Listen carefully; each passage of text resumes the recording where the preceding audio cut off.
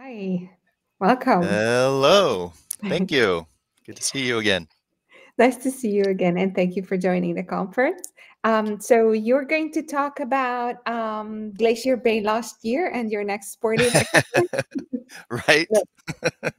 You're going to talk beautiful. more about the business aspects, right? Um, you are um, product manager at Nexio, and uh, I was really happy to see when you were uh, uh, your, the outline of your presentation because you're going to have like a rapid fire. This is how we can use AI as product manager. So, looking forward to it. The stage is yours. Yeah, great. Thank you. Um, yeah, so as she said, my name is Garrett Winn. I've been a technical writer though for over 20 years and uh, I've been working at Nexio uh, for about three years now. Let's see. Uh, my current job title though is, as she said, product manager of developer experience. All right. So, uh, in order to make sure we get a lot of alphabet soup, I titled my presentation crazily. Um, so, I know it's been a long day for many of us, uh, and I want to do uh, more rapid fire stuff, but as, and I cannot see questions as they, maybe I'm going to bring the, the uh, other screen over here. Okay so that I can see any questions that pop up. So if you have any questions, please, uh, you know, put them in the chat and I'll try to make this a little bit more interactive rather than just rapid fire. Um, so I was brought on in Nexio as a technical writer to document the APIs, um, but I was also responsible for the dev, the dev portal and for improving the experience of uh, of using our APIs in general. So I'm sure many of you have experienced something similar. So even if you're not a product manager, you wear lots of hats. And uh, I expect that then some of these points I'll be covering will, you know, be helpful, hopefully, to more than just those who do product management specifically. Um, uh, we're gonna, you know, cover the these points here for the next 10-ish minutes. Um, and, and I found and learned over the course of my time here that PMs are always struggling to find time between never ending meetings, uh, documentation, prioritization, and then more meetings. So we're going to start with the meeting side of things. Um, it often seems like PM stands for plentiful meetings, and we just can't get out of them. So taking this now to AI, how can AI help? Um, AI can't really go to meetings on our behalf yet, um, but it can do a few things to help manage them and make life a bit easier, I found. So, have you been to a meeting where um, lots of great discussion happened, things were agreed on, uh, and then nothing came of it? Or how about being so busy taking notes in a meeting that you miss half of what was said, or that you're not able to actually present your own thoughts or ideas? Um, or when someone remembers something from a meeting differently than you. AI can help with all of these kind of things. So, have, do you have AI transcribing your meetings? Hopefully, in a little bit uh, more current system than this. Um, but having AI do that helps me pay attention to what's being said and participate in the meeting more uh, because I don't have to worry about missing something or writing anything down myself. Um, AI can also summarize the meeting for me. Here's an example. Um, we've been using Zoom's feature uh, for a while at the at this company, but uh, there are several options out there. I did a quick search, found one called TLDV. Um, I have no association with the company. I don't even know how good it is, but it does the similar kind of thing. And I think a quick search would find a lot of those. Um, but the great thing is that I can I get an email at the end of the the meeting and telling me exactly what happened, what went on, that uh, I can then use later if I need to, or send a recap to interested parties.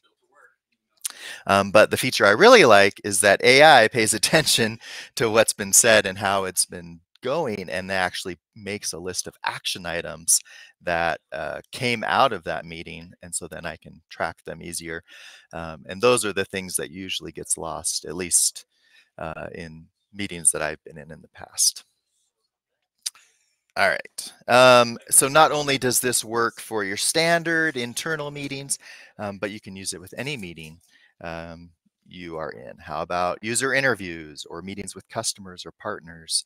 Or, you know, how powerful is it to show developers or other technical writers um, a playback of important points or pull out exact quotes um, to use in a report or a user story? Um, and I, uh, I'm not going to show this, but you some AI tools could even take that transcript you have and turn it into a video that you then show, um, which is an interesting uh, way to go. All right. So AI can help in our meetings, um, but then it can also, uh, besides meetings, PMs need to communicate a lot, and AI is here to help with that as well. So um, I have an email that I have to send to my sales team at the start of every week. I have to take the data from our developer portal um, and boil it down to a few takeaway takeaways or potential about potential new customers or um, helping existing customers. And I used to do that all on my own. Um, but now I use AI to do this. It is a great quote. Um, the uh, AI um, helps me get all the data together. I'll talk more about that a little bit later. And then I have I have AI look at this data uh, that you know like from a spreadsheet and then generate a text of an email. This is um, all generated from my AI interface. Um, and does a pretty good job of pulling out meaning from the data that we have and saves me about two to three hours of work um, per week on trying to get this together. Um, it looks for, uh, I've trained it over the course of time to look for patterns, to understand what it's looking at, and then some things that might stand out. Um, this is uh, not necessarily just one shot, but a back and forth. And uh, I think this will more people who will talk about prompt engineering and so forth. So I'm not going to talk about that specifically, um, but there are ways to get it to work this way. All right.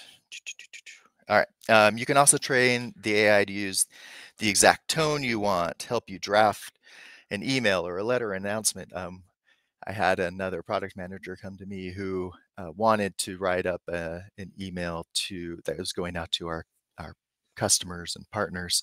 Um, that was a little um, uh, difficult. uh, we wanted to make sure we we worded it in a in a great way. And the first thing I did was take it into AI and say, "Hey, here, help us do this." And that was a great starting point, and it provided the information we needed uh, and focused on um, the stuff that that we really cared about uh, in a way that would be less worrisome for the people who are getting it uh, to put it uh, without being too specific. All right, uh, let's move on. Um, also, um, PMs need to do a lot of different, um, you know, we get lots of different emails and communications. Um, I use AI to summarize all the things. Um, I it, whether it's internal documents, competitor websites, YouTube videos, um, data, just give me the short version and so I can move on to the higher value tasks. Um, and uh, I don't necessarily have to read everything to get the gist of it. Uh, if it's interesting or I need it to know more, then of course I delve into it. But it's a great way to save some time on reading through an article or whatever it is. All right. No questions, just moving right along. Besides meetings, um, we have to do a lot of different kind of research. Um, I've been using AI in a variety of uh, ways that I previously would have just searched the internet for. For example, when I was first told about my new title, uh, beginning of this year, um, I opened ChatGPT and started a conversation to ask it to prepare a set of lessons for me to learn about being a product manager. But instead of just reading uh, the information like I would with a regular um, internet search, I was able to go through the lessons and ask questions as I went. Um, so it's like having a mentor or a tutor right there to give me all the information all the information I need and things that I didn't necessarily understand um, at the level that I could understand it um, to focus on. So uh, research uh, in that way was really great. Um, and then I've done similar things about learning about an industry um, or for uh, market research and competitive an analysis. Um, I've even created my own um, GPTs, uh, including uh, one who is an expert product manager who's very familiar with the industry that I work in. And so that's helped me to ask questions and focus and, and learn and make plans and all that kind of stuff. I'm going to go over some of those things in the next few slides. All right, I feel like I've been going a mile a minute. Any questions so far? None in the chat. All right, here we go. All right, I don't expect you to read all of this, um, but these are some prompts I've used for doing market and competitor research. Um, because that a product manager does that a lot, right? And so the I've been trying to get information and and learn about competitors and so forth. Um, I, the first one actually was really useful um, for me um, to get an idea of maybe how we might want to improve our developer portal, um, what kind of innovations are happening, what kind of uh, things uh, in competitors are they doing, and so forth. Um, and like I said, prompt engineering is a whole other topic that I'll let others talk about. But um, the questions we ask can help us to then generate, get information. It's a whole new way of doing research, of learning uh, about stuff. And you don't have to just take the information, you can question it. Um, so you can avoid some of that, you know, the hallucination kind of stuff and uh, use um, use the AI to help you get the information you need. All right.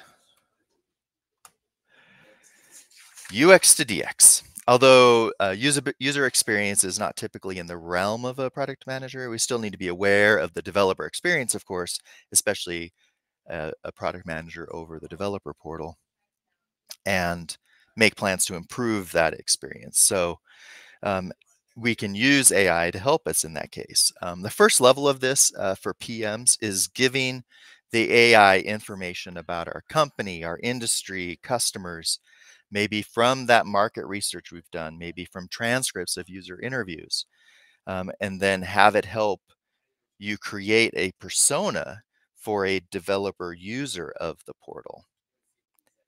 Uh, and then, so I hope that makes sense. You give AI, you tell it all of the stuff and say, hey, here, create this persona for me or help me create a persona based on all of this information. Kind of conglomerate it into one.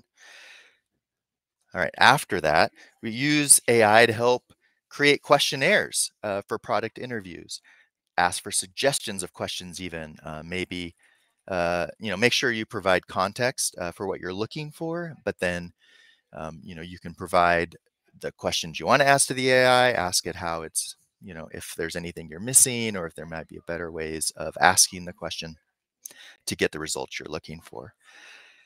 Another way I've used it is to load up some stats into the AI and have that AI determine the typical th pass through the dev portal from initial discovery through successful API integration.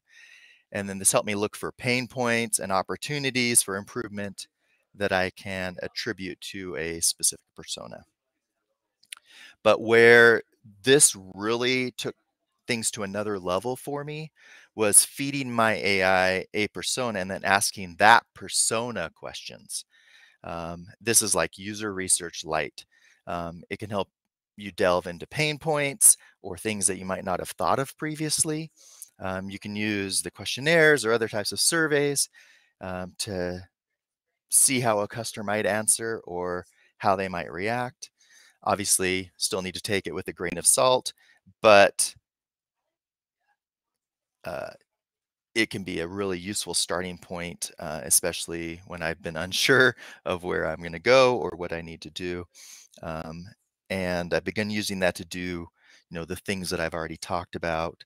Um, the great thing is that I, uh, because we have it as a, a team uh, ChatGPT um, system, I can share it with other product managers in the company and even the developers, the other technical writers, and we can all interact with that persona um, and uh, use it all together, right? So if there's a user story or a, a, a feature that we're trying to develop or whatever, that we can then ask that persona questions about it and, and get kind of immediate feedback, at least from a, a AI perspective.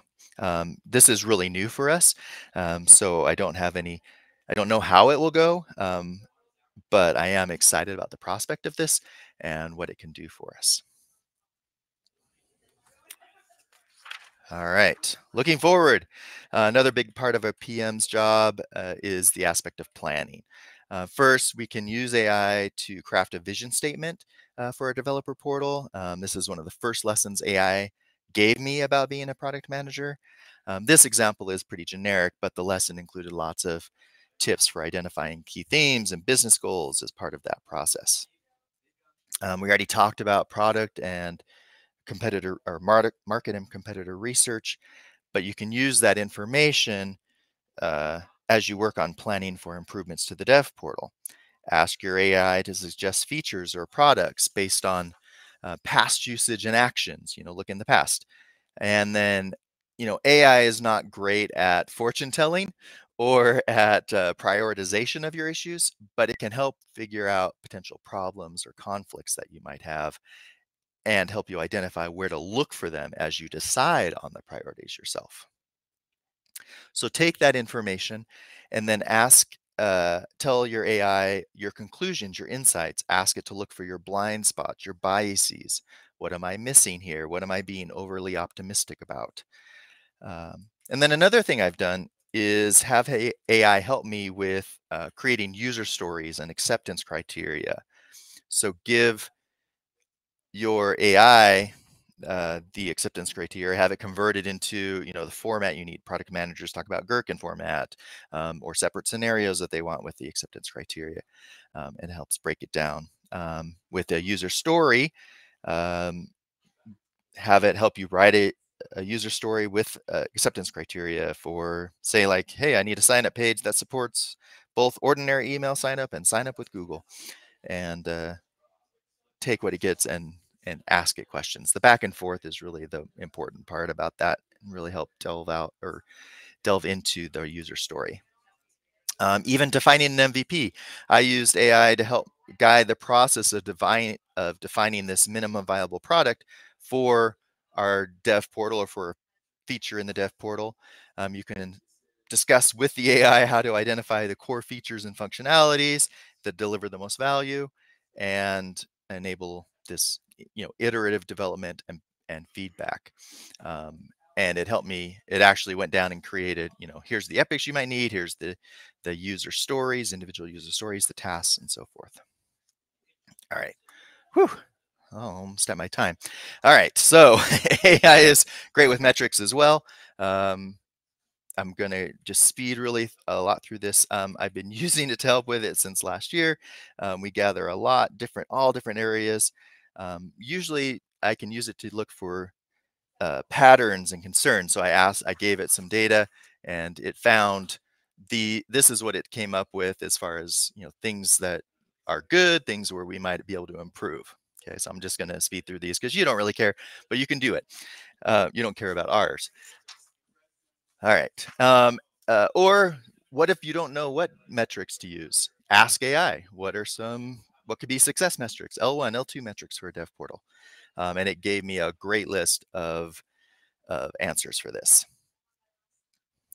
And then uh, like this. Uh, and then uh, just a lot of different data. All right, I'm going to move on. Already over time. Okay.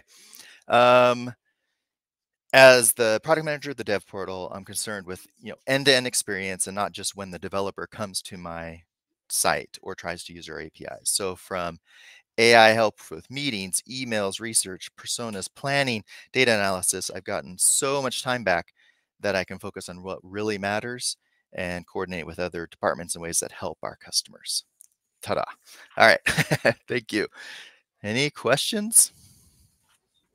Thank you, Gareth. Yes. Um, one of the most voted question is the tooling that you used for the examples, but I'm going to ask you, please, that you will answer that in the chat case by case, please. Sure. And now I would just like to ask you, when do you decide not to use AI? Hi, Mike. Um, and oh, uh, when not to. how do Hmm. you confirm that it's a hallucination or not? Um, mostly common sense, um, but I, I think I use it all the time. Uh, when do I not use it? It's it's hard. Uh, I use it in place of search now. Instead of searching the internet, I use AI. Mhm. Um, and I mean, there's a whole thing. I think the prompt engineering as a whole is a big part of not of knowing that it's not a hallucination. Um, and I see other speakers are going to get into that, so I'll I'll leave that to them to answer. But I'll be happy to answer more questions about that as well. Mhm. Um, of Okay. course. Thank you very much. See you in the lounge. All right. Thank you.